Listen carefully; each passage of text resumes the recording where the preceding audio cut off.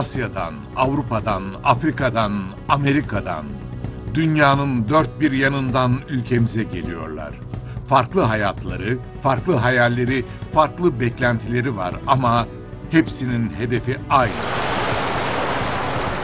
İyi bir eğitimle geleceğe daha donanımlı hazırlanmak ve ülkelerine döndüklerinde iyi bir iş sahibi olmak. Türkiye'nin kentleri ve üniversiteleri misafir öğrencilere kapılarını açıyor ve onları çeşitli mesleklerle donatarak geleceğe hazırlıyor. Ülkemizde geçirdikleri yıllar boyunca bizim gibi yaşıyor ve bizlerden biri oluyorlar. Onlar bizim dünyaya açılan kapılarımız. Onlar bizim gönüllü elçilerimiz.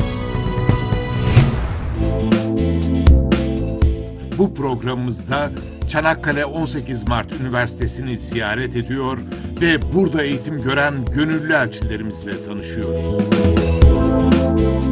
Benim adım Abdurrahman. Ben Somaliyim, Somali'den geliyorum. Şu an e, hazırlık okuyorum. Ben Türkmenistan'da uyukluyum. Adım Atacan. 2014 senesinde geldim. Şu anda ikinci sınıf öğrencisiyim. Türkçe öğretmenliği. Benim adım Rusina. Moldovalıyım. Şu an Türkçe öğreniyorum Tümer'de. İsmim Elda, Arnavutluk'tan geliyorum. Ee, Çanakkale'de Türk Dili Edebiyat bölümünü kazandım ama şimdi Tümer okuyorum. Seneye inşallah başlayacağım.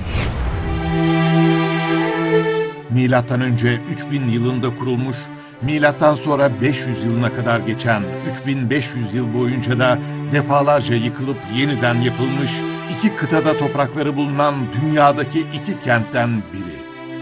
Çanakkale.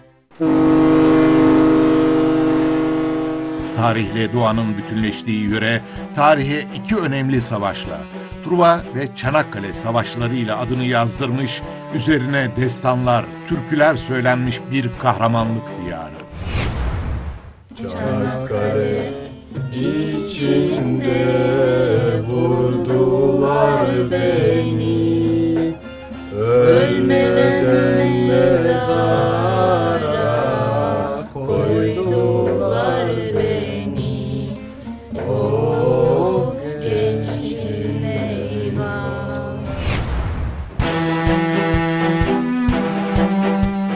Gelibolu Yarımadası tarihin en büyük savaşlarından birine sahne olmuş ve dünyanın en büyük gücü bu topraklarda en büyük hezimetini yaşamış. Çanakkale il sınırına girdiğinizde sizi kucaklayan, çevrenizi saran mistik hava, eşine ender rastlanan bir ev sahipliği içinde sizi içine alır ve tarihi yeniden yaşatır. Tarihinin yanına çağdaşlığı da koyabilen Çanakkale, bugün Türkiye'nin en modern kentlerinden biri. Çanakkale'nin çağdaş ve gelişmiş görünümünde en fazla payı olan kurumlardan biri 1992 tarihinde kurulan Çanakkale 18 Mart Üniversitesi. 4 enstitü, 14 fakülte, 8 yüksekokul, 13 meslek yüksekokulu, 31 araştırma ve uygulama merkezi ile eğitim veren üniversitede yaklaşık 50 bin öğrenci eğitim görürken 900 civarında uluslararası öğrenciyi de misafir ediyor. Türkiye'de yüksek öğretim geldiği noktada Türkiye'de e, üniversitede öğrenim gören öğrenciler arasında uluslararası öğrenci sayısını artırmak için özel bir çaba sarf ediyor. Bu Türkiye'deki e, yüksek öğretim kalitesi anlamında da çok önemli bir e, aşamayı ifade ediyor. Bu öyle bir şey ki hem üniversitelerinizi yurt dışında artık e, tabiri caizse görücüye çıkarabileceğiniz kalite seviyesine ulaşmışsınızdır anlamına geliyor. Öğrencilerimiz çok değişik ülkelerden geliyor. Mesela Afrika'dan, Somali'den, Fildişinden, Cezayir'den, e, işte Orta Asya ülkelerinden, Avrupa'dan gelen öğrencilerimiz var. Uzak Doğu'dan. E, Bizim üniversite olarak bunlarla ilgili uluslararası öğrenci ofisimiz var. E, Bu ofis öğrencilerin her türlü sorunuyla ilgileniyor. Hem geldiklerinde onların ilk etaptaki meselelerini mesela işte e, resmi işlemleri olması gerekiyor. oturma izinleriyle ilgili, sağlık güvencesiyle ilgili onları takip ediyor. Öte yandan onları bir araya getiriyor, onların üniversiteyi ve Çanakkale'yi tanımasını sağlayıcı faaliyetler gerçekleştiriyor.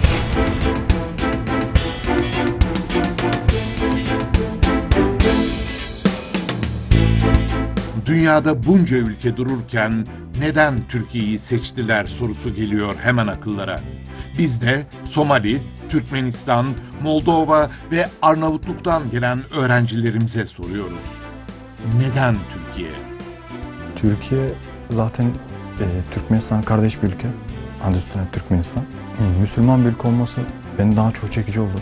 İşte Türkiye'ye gelmeye karar verdim ve Türkiye'ye gelip mutlu bir şekilde devam ediyorum. Türkiye ile gönül bir bağımız vardı. Hep dedem, e, rahmetli dedem dervişti ve hep bana diyordu ki Türkiye'yi seç, Türkiye'yi seç okumak için. Ben de o zamandan beri şey e, Türkiye'ye aşık oldum ve elhamdülillah kazandım. Ne kadar istekli olsalar da hiç bilmedikleri bir ülkeye gelen öğrencilerin önüne ilk engel olarak dil çıkıyor. Bazıları birkaç ayda, bazıları bir senede öğrenebiliyor Türkçeyi. Ama ilk günler her zaman çok sıkıntılı geçiyor. Ee, Burada geldim. Ee, ilk gece çok zor oldu çünkü ben Türkçe bilmiyorum. Güvenlik e, soruyor, sen neredesin, neden burada geldin, bir şey var. Diyorum İngilizce, İngilizce. O diyor İngilizce değil, Türkçe. Çok değişik kültürlerden, çok değişik kentlerden gelip Türkiye ile Çanakkale ile karşılaştılar. Türk insanının misafirperverliğini bilsek de bir de onların ağzından dinlemek gerek. Türkiye'yi Çanakkale. O Çanakkale çok güzel bir yerdi. Ben gelmeden önce yani çok güzel bir yer olduğu, olduğunu hiç yani düşünmüyordum mesela. Hiçbir memlekede değişemeyeceğim bir yer. Hiçbir ülkede miyim, memlekede değişmem. Çünkü o kadar çok seviyorum ki Çanakkale'yi. Türkmenistan'a geldikten sonra şöyle bir 2-3 saat oh be diyorum geldim ya ikinci yuvama geldim diyorum. Çanakkale çok çok güzel bir yer, çok güzel bir şehir, çok beğendim. Çok hoşuma gitti. Çanakkale benim şu an her şeyim oldu. Çanakkale'ye geldikten sonra yani burada yaşanır, hayat burada yaşanır gerçekten. Yani yani kimse kimseye bir şey demiyor. Herkes özgür. İşte ben beğendim. İnsanlar da çok sıcak böyle yaklaşıyorlar insana.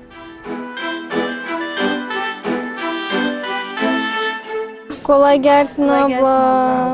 ablacığım. Siz ne yapıyorsunuz? El işi bebek yapıyorum. Ay çok güzel. Çanakkale 18 Mart Üniversitesi hocaları ve Çanakkale halkı misafir öğrencileri rahat ettirebilmek, onların hayatlarını kolaylaştırabilmek için ellerinden geleni yapıyorlar. Misafir öğrencilerimiz de bu sıcaklığın ve yardımseverliğin farkında. Çok samimi olduğum hocalarım var. Onlardan da çok çok Allah razı olsun. İşte maddi, manevi her tarafım yanımda. İşte bazen çağırıyorlar. İşte Atacan gel güzel yemek yaptık. Gel bize katıl. Derslerim kötüyse daha da ayrıntılı anlatayım sana. İşte yabancı olduğum için ve yabancı kardeşlerim de diğerleri de öyle. Ayrıntılı biraz bilgi vermeye çalışıyorlar. Nasıl yani farklı bir ülkede olmak nasıl bir şey? Bu duygu neler hissettin? Hocam biraz zorluk, zorluk çektim. İşte Türkçe ile ilgili, Hı hı. Konuşmakla ilgili. Şu anda bir sıkıntı yok. Kandillerde yani bizi eve çalıp yemek getiriyorlar. Yani bize karşı hep yani bizi grupça yanımıza geliyor. Diyorlar ki eee ihtiyacınız olan bir şey var mı? Size nasıl yardımcı olalım falan. Biz de yani çok mutluyuz. Onların varlıkları bizim için yeter diyoruz yani. Çanakkale tarihiyle, deniziyle, doğasıyla ve modern bir kentin sunabileceği tüm olanaklarla öğrencilerimizi misafir ediyor. Onlar da ders dışı zamanlarını tarih, deniz ve doğayla iç içe geçiriyorlar. Güzel arkadaşlarım var, beni seven arkadaşlarım var. Ve hep arıyorlar beni çıkalım mı diye bugün bir şeyler yapalım mı? Sinemaya gidiyoruz, öyle geziyoruz yani. Şehir içinde de şehir dışında da geziyoruz. Geziyoruz, bowling, e, AVM, alışveriş, böyle. İşte bal tutmaya gidiyoruz, pikniğe gidiyoruz. Burada da e, yaklaşık 150-200 tane Türkmen arkadaşlarım var. İşte Azerbaycan, Kırgızistan kardeşlerimiz var. Onlarla beraber gidiyoruz. Ee, sinemaya gidiyoruz eğlenmek için. Hafta sonlarda şey beraber gidiyoruz. Bazen futbol oynuyoruz. Birçok gencimizin hayallerimizi gerçekleştirebileceğimiz yer olarak tarif ettikleri gençlik merkezleri 81 il ve 279 merkezde olduğu gibi Çanakkale'de de faaliyetini sürdürüyor.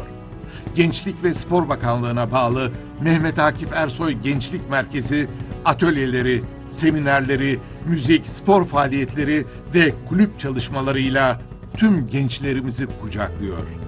Ee, Gençlik e, Merkezi çok güzel bir faaliyet. E, Spor e, farklı sportif aktiviteler yapılıyor. Sanatla ilgili aktiviteler, geziler yapılıyor. Ben burayı çok beğeniyorum. İnsanlar yani gerçekten burada gerçekleştirebilirler hayallerini. Gençlerimizi kötü alışkanlıklardan uzaklaştırmak, bilim, sanat, sporla iç içe, bilinçli, ülkesine ve kendine güvenen bir nesil yetiştirebilmek amacıyla hizmet veren gençlik merkezleri 1 milyon 600 bin üyesiyle en büyük gençlik organizasyonu olarak gençlerimizi yarınlara hazırlıyor. Gençlik merkezlerinde bir el sanatı öğrenebilir, düşünsel sohbetler yapabilir, ilgilendiğiniz hemen her konuda kendinizi geliştirebilirsiniz.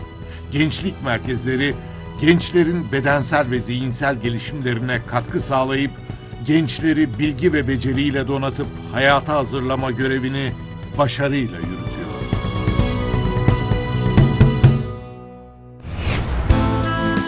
Misafir öğrencilerimiz ilk geldiklerinde Türkçe öğrenebilmenin yanında bir problemle daha karşılaşıyorlar. Farklı bir coğrafyanın, değişik bir kültürün mutfağı onları karşılıyor. Komşu ülkelerden gelen öğrenciler çabuk alışsa da bazı misafirlerimiz çok zor alışıyor Türk mutfağına. İlk geldiğimde bazı yemekler böyle e, ilginç geldi bana. Mesela çiğ köfte. Yani yani istemedim ama sonradan alıştım. Ama en çok alışmadığım çay. Onu içemiyorum. Türk yemek konusunda biraz yap, yapamam ama yaptıklarını yiyorum. Ya memlekette yeşil çay içiyorduk. Artık o çaydan içemiyorum fazla. Güzel. Beğendim. Evet. Yani biz evde yemek yapıyoruz mesela. Yani en çok kuru fasulye yapıyoruz. Yapması da bile öğrendik yani çok iyi yapıyoruz bazen de.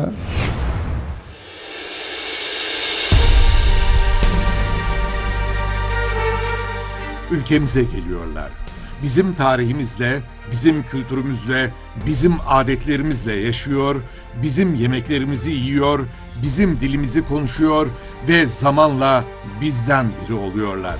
Ülkelerine döndüklerinde bizim kültürümüzü, bizim yemeklerimizi, bizim güzelliklerimizi de götürecekler. Hayatları boyunca bizi hatırlayacak, gittikleri her yerde bize anlatacaklar. Onlar bizim gönüllü elçilerimiz. Bizi dünyaya tanıtacak olan gönüllü elçilerimiz. Samimiyetinden, sevgisinden ve buradaki tanıdığım insanlar ben ayrılmak o kadar zor olacak ki. Yani şimdiden düşünüyorum onu. Ne kadar oldu gideli bilmiyorum geçen zamanı Zamandan saymadım zaten sensiz geçen her anımı Her an ne kadar ne kabuk bağlar giden unutur kalan hep yanar Kaçsam kaçamam her yerde kokum var Türkiye güzel bir yerdir. Yani eğit- kriteri eğitimler de var. Yani bizim sizin için bir avantajlı olacak. Gelin diyorum. Sonra kardeşimize bu mesajı veriyorum. Türkiye bir yenilmez, Müslüman bir ülke. Bayraktan anlıyordum Türkiye'nin nasıl bir ülke olduğunu. Yani geçmişte geldikten sonra, Çanakkale'ye geldikten sonra daha çok anladım.